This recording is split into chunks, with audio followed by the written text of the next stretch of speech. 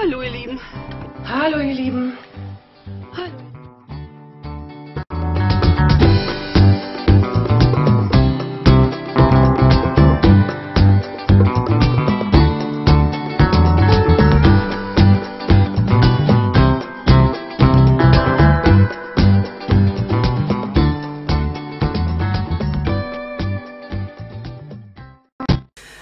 Hallöchen allerseits, ich bin hier jetzt im Arbeitszimmer. Heute habe ich jetzt nicht wirklich was gefilmt, großartig.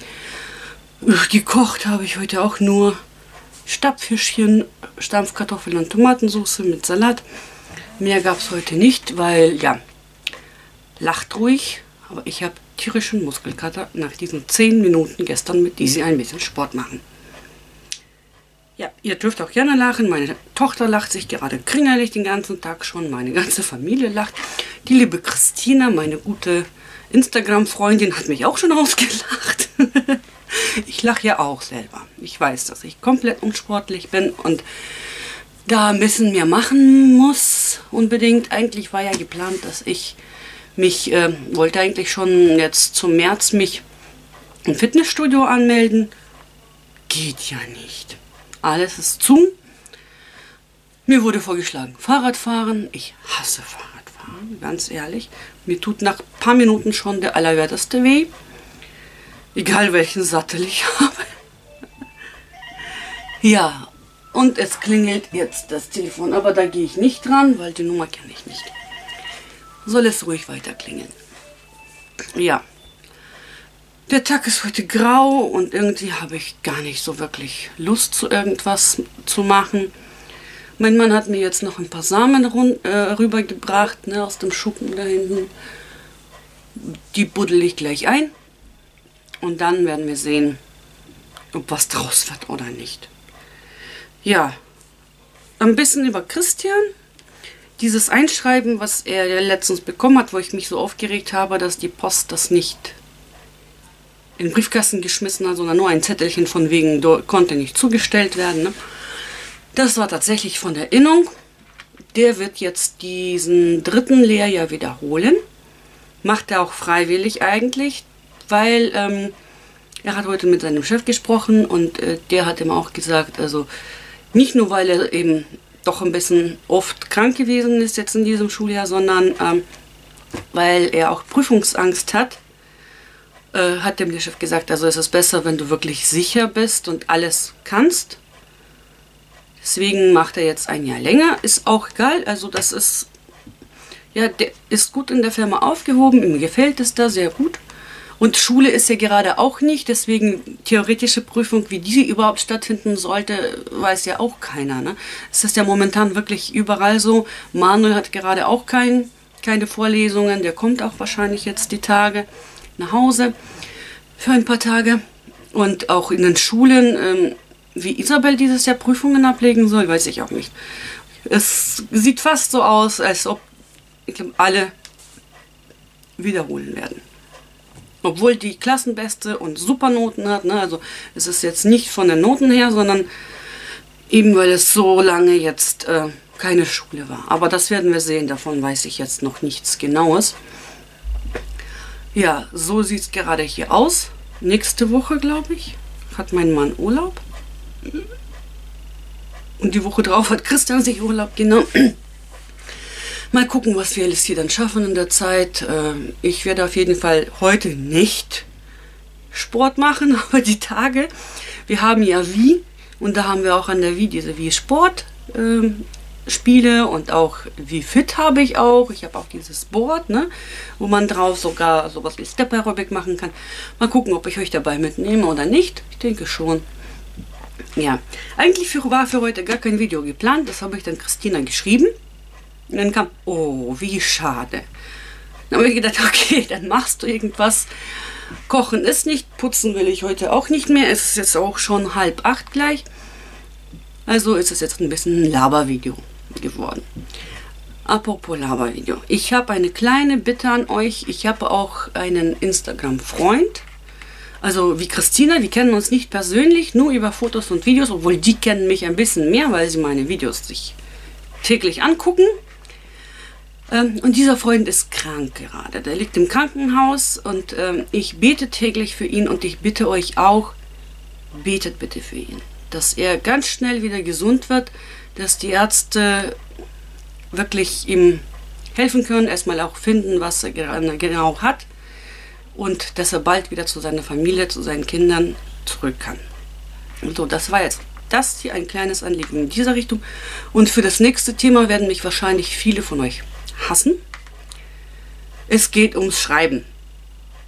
Also manchmal mache ich nur Facebook auf und kriege schon die Krise, dass da äh, so schlecht geschrieben wird. Also ich meine grammatisch. Ähm, Leute, die hier aufgewachsen sind, die hier zur Schule gegangen sind, machen solche Fehler und dann diese Bandwurmsätze ohne Satzzeichen, ohne irgendwas. Manchmal steht so, hat mir jemand Rezept für ähm, irgendwas. Erstmal hat mir jemand, was soll das denn jetzt heißen? Und dann ohne Fragezeichen. Ich bin manchmal wirklich kurz davor, einfach drunter zu schreiben, äh, was war bitte die Frage? Weil äh, man kann doch wenigstens äh, ich sag mal, ein Fragezeichen hinterher setzen, wenn man tatsächlich eine Frage gestellt hat. Und dann heißt es ja nicht, hat mir jemand, sondern hat jemand für mich bitte Rezept für das und dies und jenes. Oder wie sehe ich das jetzt? Sehe ich das falsch? Also ich sage mal, ich will nicht sagen, ich schreibe perfekt. Aber ich habe mir Deutsch zum größten Teil selber beigebracht. Ich bin hier nie zur Schule gegangen ich war fast 19, als ich nach Deutschland gekommen bin. Ich hatte schon meine Schule in Kasachstan fertig. Und hier bin ich dann auch nach äh, nicht mal beendeten Sprache, Sprachkurs, weil ich dann äh, Arbeit suchen musste. Mein Ex-Mann ist ja dann nachgekommen hierher und äh, da wollte ich jetzt nicht bei meiner Mama weiter wohnen und sie hat damals in der Zeit auch nur Sozialhilfe erstmal bekommen, bis sie dann ihre, äh, ja, die musste ja ihre Krankenschwester bestätigen lassen erstmal. Dafür hat sie, glaube ich, fast ein Jahr in Detmold äh, irgendwie so einen Bestätigungskurs machen müssen, irgendwie sowas. Ja, ähm, und finde manchmal, also, ich schreibe besser als die echten Deutschen, die hier ihre Schule, denke ich mal, abgeschlossen haben. Und deswegen frage ich mich auch, äh, warum? Also wenn man schon eine Frage stellt oder irgendwas schreibt, man könnte sich ja auch die Zeit nehmen, um wenigstens ein bisschen vernünftig zu schreiben. Wie seht ihr das? Also ich weiß, ihr werdet mich jetzt wirklich alle nicht mehr mögen, weil ich das jetzt überhaupt so angesprochen habe, aber wir sind doch Vorbilder für unsere Kinder. Und wenn ich falsch schreibe, wie soll bitte mein Kind dann lernen, richtig zu schreiben? Und es ist wichtig. Ich finde, Schreiben ist wichtig. Wenn ich jetzt eine Bewerbung schreiben muss, dann, ähm, wenn ich da jetzt solche Fehler einbaue, dann habe ich ja gar keine Chance, einen Job zu kriegen. Also so sehe ich das. Das ist jetzt meine Meinung. Es kann sein, dass ihr das anders seht, aber ähm, ich finde gerade Schreiben ist wichtig. Man muss nicht unbedingt jetzt ein Mathe-Genie sein oder äh, in Fremdsprachen perfekt oder sowas, aber in der eigenen Sprache, finde ich, muss man schon äh, ja, schreiben können. So, das war jetzt das. Und dann jetzt noch das nächste Thema, Job, ist klar. Ich habe jetzt komplett alles auf Eis gelegt mit Bewerbungen und so weiter, weil alles, wo ich mich bewerben wollte, ich wollte ja einen Service in der, oder in die Küche. Wohin? Alles ist zu. Die Restaurants sind alle zu, die Hotels sind alle zu. Ähm, nur die Kliniken, da könnte man mich, äh, könnte ich mich eventuell auch bewerben, also in der Diana-Klinik bei uns in der Reha oder Herz-Kreislauf-Klinik, da könnte ich auch mich bewerben. Aber ansonsten ist momentan wirklich nichts. Außer, ja, okay, wenn ich jetzt bei Lidl anfragen würde oder bei Aldi, die würden mich wahrscheinlich sofort nehmen, weil die gerade wirklich alle auf dem Zahnfleisch mittlerweile laufen. Ne? Deswegen, aber momentan sieht das wirklich jobtechnisch für mich nicht wirklich gut aus. Äh, ist aber auch nicht ganz so schlimm, finde ich. Also, es ist ja nicht so, dass ich jetzt wirklich so dringend darauf angewiesen bin. Ne? Ich muss nur was für die Rente tun. Weil sobald Raphael 10 wurde, genau 10, bis zum 10. Geburtstag des jüngsten Kindes war das eben diese Pflichtrentenversicherung drin. Und dann hatte ich ja dieses Jahr, wo ich beim Arbeitsamt gemeldet war, als Jobsuchend. Das war dann auch, wurde auch in die Rentenkasse gezahlt. Aber als ich mich dann abgemeldet habe, kam sofort ein Bescheid, ja, dass dann jetzt mit der Rentenzahlung auch weg ist. Ist ja auch logisch. Ja, das ist jetzt, so sieht es gerade aus. Bei uns ist momentan hier auch wirklich noch nichts großartig irgendwie, was, wie gesagt, mein Virus angeht. Ich habe keine neuen bestätigten Fälle gehört oder so. Aber man traut sich trotzdem natürlich nicht so oft raus. Obwohl ich heute kurz noch beim Edeka war. Äh, wir wollten Fischstäbchen haben und ich hatte keine da. Sonst habe ich immer welche im Gefrierschrank. Momentan nicht. Entschuldigung. Ja, und äh, Leute, es gab heute Klopapier und Milch wieder. ich habe Milch gekauft, aber Klopapier habe ich jetzt nicht gekauft. Also das brauchen wir noch nicht wirklich. Wir haben noch genug da. Aber die Situation ist gerade natürlich voll krass. Ne? Also das sind Sachen manchmal, da gehst du in den Laden und da steht tatsächlich nicht lieferbar. Und dabei heißt das eigentlich, wurde ja von den großen Bossen erzählt und im Fernsehen und überall, dass es gar keinen Notstand geben wird, weil die Lager gut gefüllt sind und so weiter und so fort, sieht man eigentlich nicht wirklich viel davon hier gerade. Mehl war natürlich auch nicht vorhanden, nur, ich glaube, drei, vier Pakete von einem teuren Mehl. Aber das günstige war natürlich nicht mehr da. Ist schon seit, ich glaube, letzte Woche gab es keins mehr schon. Und die ganze Welt dreht durch. Auf Facebook kommen jeden Tag immer, also die Leute die müssen irgendwas tun, die beschäftigen sich irgendwie beschäftigen, ist klar. Und dann wird natürlich gebacken wie bekloppt. Wir sollten das Ganze essen.